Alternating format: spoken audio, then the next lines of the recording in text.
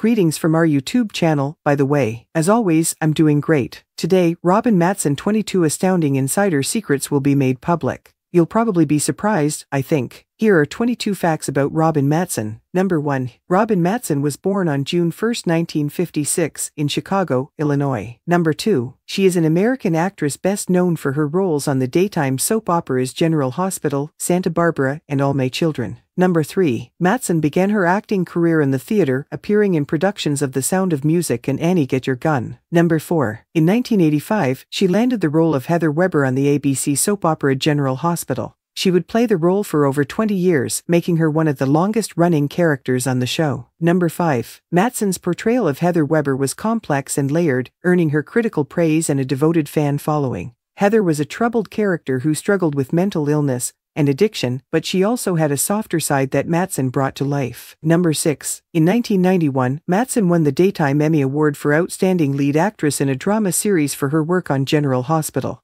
Number 7. In 1993, Mattson left General Hospital to join the cast of the NBC soap opera Santa Barbara. She played the role of Lisa Caprini, a manipulative and scheming businesswoman. Number 8. Mattson's time on Santa Barbara was cut short when the show was cancelled in 1994. She returned to General Hospital in 1996, continuing to play the role of Heather Weber. Number 9. In 2008, Mattson took a break from General Hospital to join the cast of the ABC soap opera All My Children. She played the role of Janet Green, a woman with a mysterious past. Number 10. Mattson returned to General Hospital in 2012, where she continues to play the role of Heather Weber. Number 11. In addition to her work on soap operas, Mattson has also appeared in a number of primetime television shows, including The Love Boat, Baywatch, and Melrose Place. Number 12. Mattson is also a theater actress, having appeared in productions of Chicago and The Vagina Monologues. Number 13. Mattson is a passionate advocate for mental health awareness. She has spoken out about her own experiences with mental illness and has worked to raise awareness of the issue.